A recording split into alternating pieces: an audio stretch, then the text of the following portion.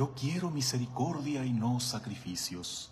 Una de las frases más bellas que escuchamos en labios de Jesús y que tantos interpretan como que Dios lo que quiere es que seas feliz, no que sufras, así que olvídate de todas esas cosas que implican renuncias, disgustos, sinsabores, porque no, Dios lo que quiere es que seas completamente feliz y que disfrutes de la vida, la bueno, hay que entender las cosas en su contexto. De hecho, Jesús no fue el primero en pronunciar esta frase.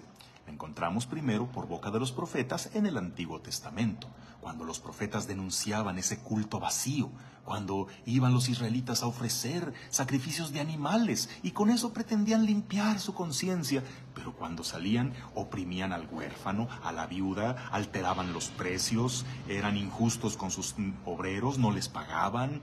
¿Cómo? Bien sentados sobre el prójimo, voy a sentirme tan a gusto porque tengo para ofrecerle sacrificios a Dios? Pues no, fíjate, Dios quiere misericordia y no sacrificios, refiriéndose a aquellos sacrificios de animales. Y Jesús retoma esta frase para hacerles ver a los fariseos lo equivocados que estaban. Esos fariseos que condenaban a Jesús porque se juntaba con gente condenada, con gente de mala reputación, de mal vivir, como aquel publicano Mateo, al que llamó como uno de sus discípulos, y toda la bola de cómplices de pura calaña suya, con las que Jesús se sienta a comer. ¿Cómo es posible que un rabino como él se junte con gente pecadora? Eso era impensable en aquel tiempo, porque pensaban que si te juntas con ellos, entonces tú te contaminas. Preferían ellos conservarse puros, impolutos y que con eso agradaban a Dios. Pero sabes, con esto Jesús les está queriendo decir, Dios prefiere que te manches las manos por ir a rescatar a uno de esos hermanos tuyos que viven en el pecado, a que tú te sientas superior a ellos, nada más porque no te juntas con ellos y porque no eres como ellos. Pues no. Jesús va y se mancha las manos, pero en realidad no se las mancha. Más bien Él, al juntarse con ellos, los lava, los purifica de toda culpa, los redime, los saca de su situación. Por lo tanto, no usemos esta hermosa frase como una bandera para seguir pecando tranquilamente y creer que Dios no quiere sacrificios. No, no es que los quiere en el sentido de que quiere vernos sufrir, sino de que Él quiere misericordia. Pero sabes, tantas veces la misericordia implica sacrificios. Nosotros entendemos el sacrificio como algo que cuesta, algo que es difícil, una vida sacrificada, pues es una vida mm, difícil, una vida con incomodidades. Hacer un sacrificio significa renunciar a algo legítimo que te gusta mucho, como cuando en la cuaresma voy a hacer el sacrificio de no tomar refresco o de no comer pan. Bueno, ese sentido le damos a la palabra sacrificio. Y en ese sentido, la misericordia cristiana implica muchos sacrificios.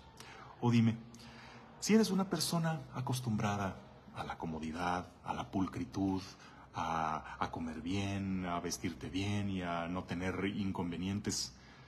¿No es un sacrificio para ti ir de apostolado, ir a una misión entre gente pobre y tener que ensuciarte los zapatos, tener que aguantar el calor, aguantar los bichos que hay por todas partes, aguantar los olores que puede haber en un hospital, en, eh, en el cuarto de un ancianito enfermo?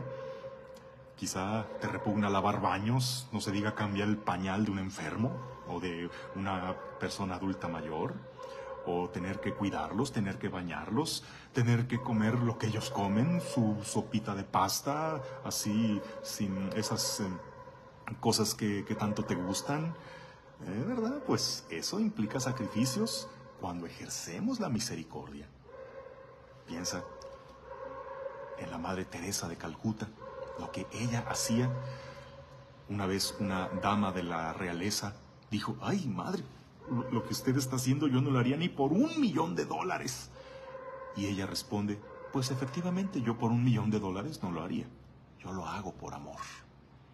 Solo por misericordia se pueden tolerar esos sacrificios y la misericordia requiere sacrificios. ¿Cómo en qué más? ¿Qué otro acto de misericordia? El perdón. Necesitamos hacer un sacrificio muy grande, sobre todo quienes somos muy orgullosos, para darle un golpe a nuestro grandísimo ego y atrevernos a pedir disculpas, para aceptar las disculpas de quien nos ofendió y lo que queremos es romperle la cara. Ahí se necesita una gran dosis de sacrificio. Sacrificio de dejarte importunar, de dejarte interrumpir cuando quizás estás en tu tiempo libre, cuando estás descansando, cuando tú ya tenías otros planes, pero se necesita de ti. Ay, pues a veces sin tanto gusto, pero cuando lo haces es un sacrificio que es un verdadero acto de misericordia. Es muy fácil nada más señalar, condenar, decir que están mal. Ah, pero sacrificio se requiere para escuchar, para comprender, para buscar al que está alejado, para corregir aunque caigas gordo, para acompañar el proceso. Eso requiere sacrificios, porque ay, qué fácil es nomás decir que qué mal están. Pero a ver, ¿eso es un acto de misericordia o el ayudarlos a salir de su situación? Un sacrificio es aceptar estar con gente que quizá no es de tu total agrado.